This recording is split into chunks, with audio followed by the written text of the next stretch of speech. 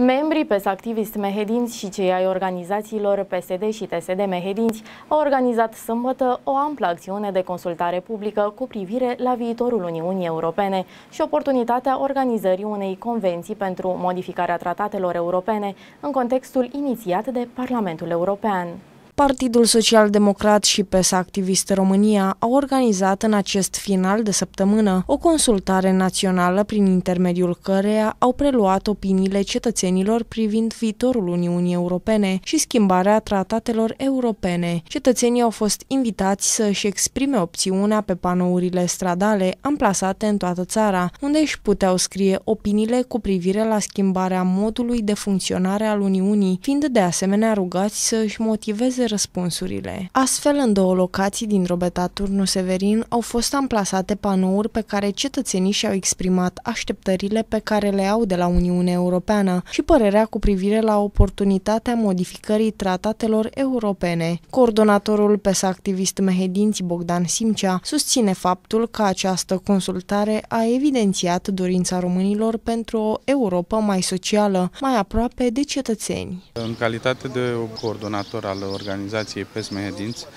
împreună cu organizația PSD Mehedinți, cu ajutorul președintelui organizației PSD Mehedinți, Aladin Georgescu, cu ajutorul uh, parlamentarilor de Mehedinți ai PSD, domnul Liviu Mazilu și domnul Chirilă, cu ajutorul organizației PSD Drobeta Turnul Severin și cu sprijinul uh, primarului Marius Creciu, am uh, declanșat astăzi o amplă acțiune de consultare publică, având ca scop optimizarea organizării convenției Uh, privind um, schimbarea tratatelor europene, scopul fiind de a clădi o Europa mai echitabilă, o Europa mai socială, o Europa mai puțin birocratică, o Europa pentru cetățeni, o Europa care nu lasă în urmă pe nimeni. De asemenea, tinerii socialdemocrații din Mehedinți au fost prezenți la această activitate, spunându-și de asemenea opiniile referitoare la viitorul Europei. Aș vrea să mulțumesc uh, inclusiv organizației TSD Mehedinți, Aș vrea să mulțumesc președintelui interimar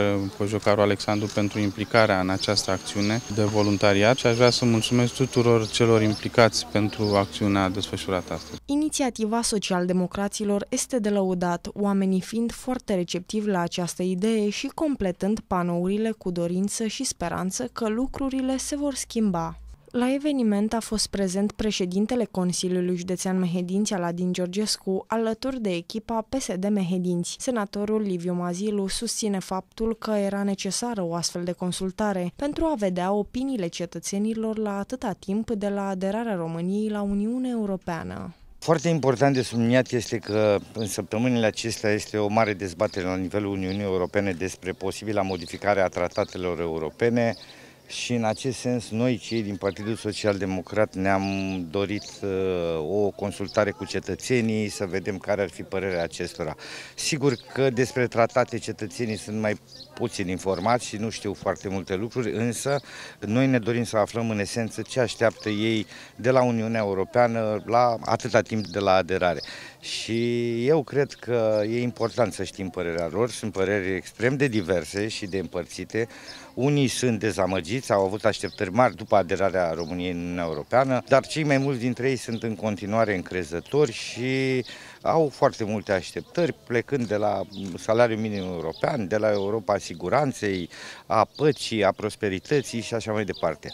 Uh, sigur, noi nu vrem să influențăm în vreun fel părerea cetățenilor, uh, dar uh, în mod cer noi, cei din Partidul Social Democrat și colegii noștri de la PES, doresc să imprimăm Europei un parcurs mai puțin birocratizat, mult mai social, mai aproape de cetățenii Uniunii Europene, astfel încât să nu lăsăm pe nimeni în urmă. Sper să trăim într-o Europa mai socială și mai apropiată de toți cei care o compun. Deputatul PSD Mehedinți Alin Chirilă este un om implicat în comunitate și își dorește de la Europa factorii mai mici și o viață mai bună pentru toți cetățenii. O acțiune PES Activis în colaborare cu PSD referitoare la viitorul Europei. Spuneți-ne mai mult. În primul rând, dați-mi voie să vă spun și o bună ziua și să felicit organizatorul acestei acțiuni de astăzi. Este o, o activitate organizată în toată România despre viitorul Europei. Ce ne dorim de la Europa? Ne dorim o Europa mai socială, mai aproape de cetățeni, care să găsească soluții pentru toți locuitorii acestui continent. Vrem facturi mai mici, vrem energie echitabilă pentru toți cetățenii, vrem să avem motorină mai ieftină, fiindcă avem nevoie să ne mișcăm pentru a desfășura activitățile economice, pentru a avea și o viață mai bună de aici încolo. Vrem o Europa echitabilă și cu aceleași drepturi pentru toți membrilor, astfel încât să nu mai avem disparități între diferitele țări ale acestui continent. Vicepreședintele Consiliului Județean Mehedin, Ionică Negru, susține ideea unei Europe mai unite și mai transparente, dorind să-i facă pe cetățeni să conștientizeze importanța acestor lucruri în viața tuturor. Astăzi avem o acțiune uh, în care vrem să îi facem și pe ceilalți să conștientizeze.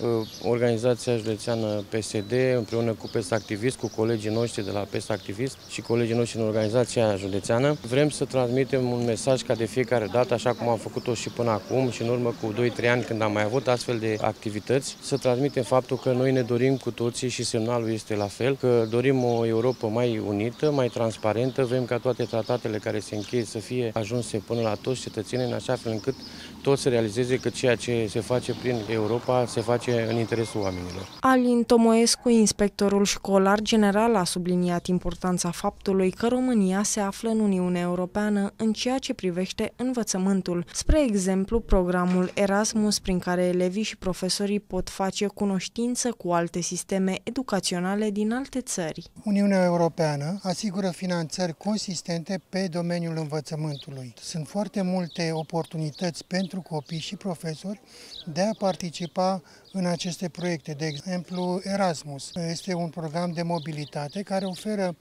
copiilor și profesorilor posibilitatea de a cunoaște sisteme de învățământ din Uniunea Europeană. Chiar eu am participat și mulți profesori participă și copii la aceste proiecte. Vezi cum se desfășoară la ei orele, activitățile, înveți foarte multe exemple de bună practică, școli care educația inclusivă la ei se aplică și, într-adevăr, copiii cu cerințe educaționale speciale, având nevoi deosebite, sunt bine reprezentați în școlile normale. Românii își doresc în bună măsură o Uniune Europeană mai echitabilă, cu instrumente prin care să poată ajuta la creșterea calității în sănătate și educație sau chiar a veniturilor populației. Reprezentanții PES Activism Mehedinți, în colaborare cu reprezentanții PSD Mehedinți, astăzi au organizat o acțiune de consultare publică în privința modificării tratatelor Uniunii Europene, astfel încât acestea să fie adaptate la nevoile actuale ale cetățenilor tuturor statelor Uniunii Europene.